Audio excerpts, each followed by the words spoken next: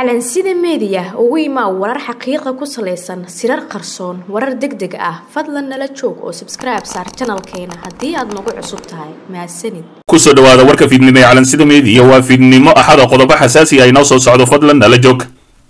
Xog xasaasiya midowda musharaxiinta mucaaradka oo isku raacay in ay weerar xoogan oo dhabarjimin ah ku qaadaan dhoohane maxamed cabdilaahi farmaajo islamarkaasina saacadihii ugu dambeeyey shir xasaasiya lahaa midowda musharaxiinta mucaaradka waxay isku afgarteen in la dhiso guddoomiye gole shacab oo ka soo jeeda maamulka koonfur galbeed baydhabo si loo dhabarjibiyo iskudayga dhoohane maxamed cabdilaahi farmaajo ee dhalan rogga saami qaybsiga siyaasadda soomaaliyeed ah. Waxay yidhaahdeen ogaada waxaa guddoomiyaha golaha shacabka noqon doono nin lafta gareen qaraabo la ah oo kursiga ay soo siiyeen amaba uu soo taageeray lafta gareen islamarkaasina isla ayaga ayaa lagu jebin doonaa. Dhowaan waxay soo saari doonaan qofka ay u sharaxayaan guddoomiyaha baarlamaanka federaalk soomaaliya. Si kastaba ha ahaatee midowda musharaxiinta mucaaradka waxa ay doonayaan tallaabada ay qaadaan dhoohane iyo tiimkiisa in ay ayagana tallaabo kala qaadaan islamarkaasina guddoomiyaha baarlamaanka federaalk soomaaliya ay ka dhigaan dhanka iyo baydhabo islamarkaasina sidaasi lagu jebiyo. Dhoohane maxamed cabdilaahi farmaajo dhinaca kale waxaa maanta magaalada muqdisho kulan ku yeeshay xubno ka mid ahay midowda musharaxiinta madaxweynaha soomaaliya iyo guddiga doorashooyinka heer federaal oo uu horkacayo muuse geelle yuusuf oo ah guddoomiyaha guddigaasi. Labada dhinac ayaa ka wada hadlay dedejinta doorashooyinka kamida dhalinta jadwalka doorasho oo ay soo saareen iyo xal u helidda caqabadaha dhammaystirka doorashooyinka qaranka. War ka soo baxay midowda musharaxiinta ayaa waxaa lagu sheegay inay ka go'an tahay in la dedejiyo doorashada si dalka looga saaro firaaqa dastuuriga ahi loona helo hoggaan iyo hay'ado sharci ah islamarkaasina dalka sii wada. Si kastaba ha ahaatee dardar cusub ayay la soo baxeen. Midowda musharaxiinta mucaaradka tallaabadan ayaa ah in ay wax walba gebageba yihiin islamarkaasina dagaal cir iyo dhul ah lagu qaadayo dhoohane maxamed cabdilaahi farmaajo. Xalay khudbadii musharax madaxweyne siciid cabdulaahi dani ayaa ahayd qof kasta oo raba in uu farmaajo meesha laga saaro saaxiib ayaa noqonaynaa waxaan diyaar u nahay in la bedelo dhoohane maxamed cabdilaahi farmaajo. Waa qasab in la bedelo tiimkaasi. Saaxiibo ayaan ku noqonaynaa sidii meesha looga saari lahaa dhoohane maxamed cabdilaahi farmaajo ayuu yidhi siciid cabdulaahi dani. Dhinaca kale rooble oo war ka soo saaray tallaabadii uu qaaday guudlaabe ra'iisul wasaaraha soomaaliya mudane maxamed xuseen rooble waxa uu si dhow ula socdaa juhdina ku bixinaya dhammaystirka doorashada kuraasta golaha shacabka baarlamaanka soomaaliya ee weli harsan. Isagoo kala shaqaynaya madaxda maamul goboleedyada jubbaland iyo hirshabelle ra'iisul wasaaraha waxa uu hambalyeynayaa maxamed xuseen maxamed oo xubin ka noqday guddiga doorashada hirshabelle kaas oo bedelaya axmed xasan diini. Waxa uuna farayaa dhammaan guddiyada doorashooyinka in ay ku shaqeeyaan habraacyada iyo heshiisyada doorashada ilaalinaya kala dambaynta.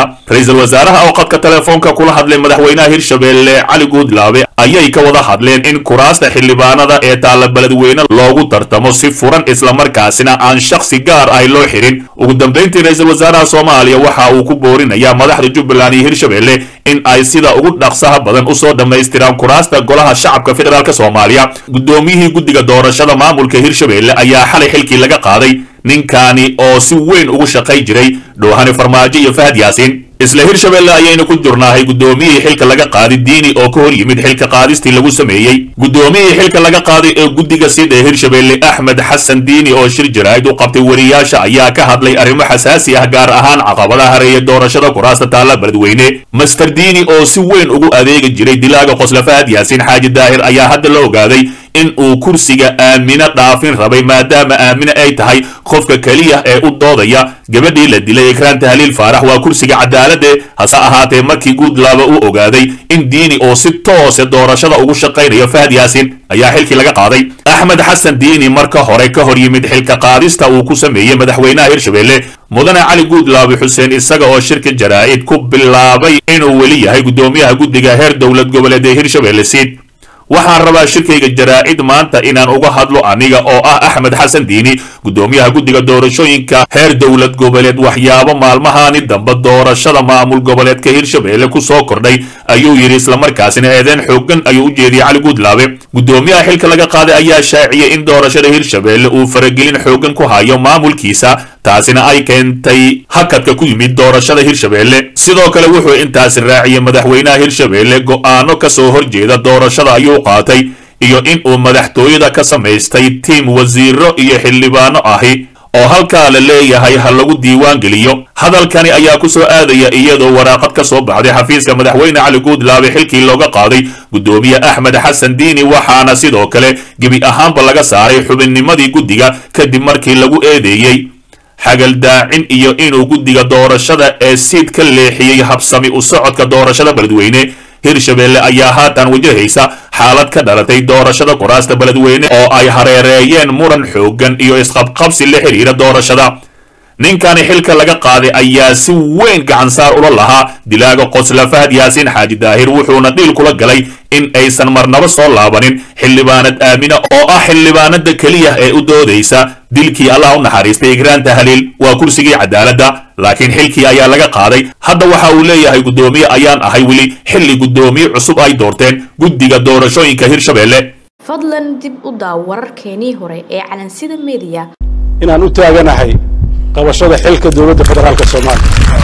Madaxweyne saciide cabdulaahi dani oo ku dhawaaqay go'aankiisa musharaxnimo ee xilka madaxtinimada soomaaliya dhoohane maxamed cabdilaahi farmaajo ayaa si weyn ugu naxay inuu dani u tartamo xilka madaxtinimada soomaaliya. Madaxweynaha maamulka puntland saciide cabdulaahi dani ayaa xalay si rasmi ah u shaaciyey inuu yahay musharax u taagan xilka madaxweynaha soomaaliya saciid dani ayaa go'aankani ugu dhawaaqay kulan uu xala la yeeshay xildhibaanada cusub ee baarlamaanka soomaaliya ee laga soo doortay deegaanada puntland kuwaasi oo madaxtooyada garowe ku qaabilay. Afhayeenka madaxtooyada puntland jaamac dabaraani ayaa qoraal kooban uu soo baahiyey waxa uu yidhi. Madaxweyne dani waxa uu taagan yahay xilka madaxweynaha soomaaliya waa hogaamiye samata bixin kara dalkeena soomaaliya waxay u baahan tahay in dadku codeeyo iyo in nabad la helo labadaasina isaga ayaa ku suntan. Saciidane ayaa tan iyo markii ay bilowdeen doorashooyinka baarlamaanka soomaaliya iyo ka sii horeba waxaa aad loo hadal hayay inuu damac uga jiro xilka madaxweynaha soomaaliya taas oo ugu dambayntii xaqiijisay in uu u tartamayo xilka madaxtinimada soomaaliya. Ma jeclaysan tim dhoohane maxamed cabdilaahi farmaajo ee villa soomaaliya. Islamarkaasina dhoolatus xoogan ayuu saciidani soo bandhigay maadaama xildhibaanada laga soo doortay puntland iyo kuwa laga soo doortay kismaayo uu isku haysto. Hase ahaatee meel wanaagsan ayuu taagan yahay waxaana macquul ahi in dhoohane maxamed cabdilaahi farmaajo uu daaqada ka saaro